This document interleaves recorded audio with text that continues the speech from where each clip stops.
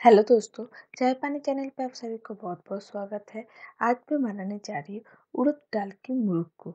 बहुत ही क्रिस्पी होगा और ये बनाना बहुत ही इजी है, खाने में तो बहुत ही टेस्टी है और इसको आप बना के बहुत दिन तक स्टोर करके भी रख सकते हो।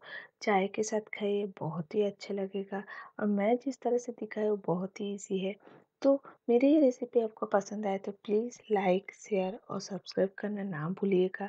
तो रेसिपी को पहले देख लेते हैं। तो मैं एक कप उड़द दाल को पूरी रात पानी में भिगो के रखा था। अभी मैं इसको मैं कुकर में दे दूँगी और दे दूँगी मैं एक कप पानी। दे के कुकर का ढक्कन लगा के इसको पाँच सीटी दे दूँगी। दूसरी तरफ़ मैं इस, एक बार में ले लिया दो कप राइस का आटा। इसमें मैं दे दूँगी हाफ़ चम्मच नमक।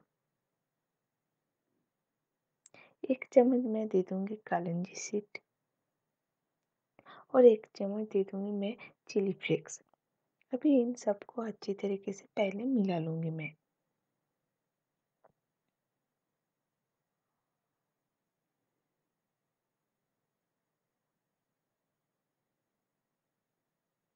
तो मिलाना हो गया है।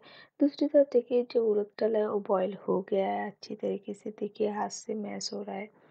तो अभी मैं ये उड़द दाल को एक मिक्सर बाउल में दे दूँगी। इसको फाइन पेस्ट बना लूँगी इसका। अभी मैं राइस आटा में दे दूँगी।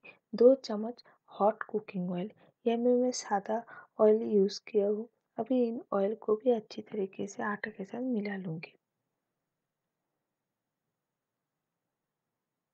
अभी मैं इसमें ऐड कर दूँगी जो उड़द का जो फाइन पेस्ट मैंने किया हो, वो अभी इसमें दे दूँगी। इनको देखिए अच्छी तरीके से आटा के साथ मैं इसको मिला लूँगी।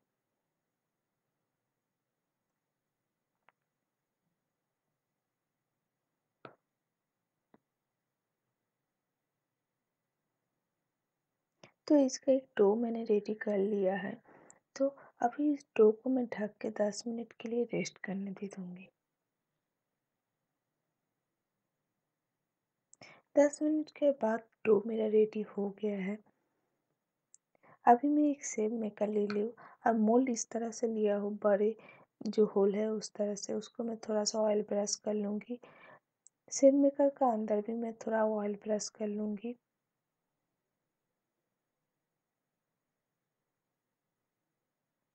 अभी थोड़ा सा जो आटा उड़द दाल का मिक्सचर है, वो मैं इसके अंदर मैं इस तरह से दे दूँगी।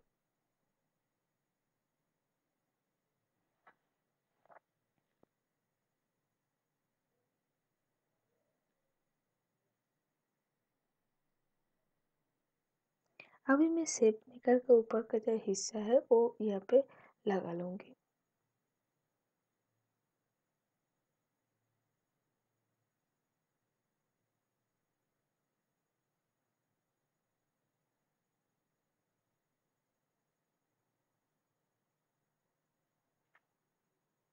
अभी एक पॉली बैग लिया हूँ।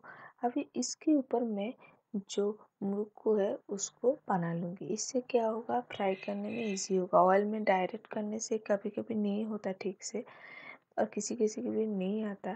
तो इस तरह से कर लीजिए तो अच्छा होगा।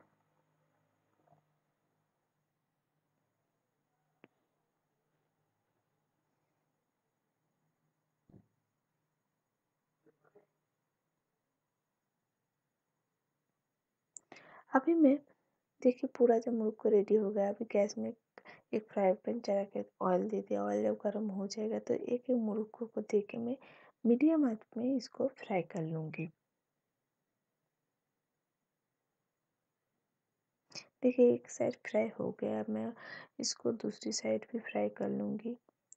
कलर ज़्यादा चेंज करने की ज़रूरत नहीं है या, इसमें थोड़ा सा मीडियम आँच में फ्राई कीजिए। देखिए मुर्ग को फ्राई हो गया। अभी ऑयल से निकल मैं साइड रख दूँगी। तो मेरी रेसिपी आपको कैसा लगा ज़रूर कमेंट करके बोलिएगा। Thank you.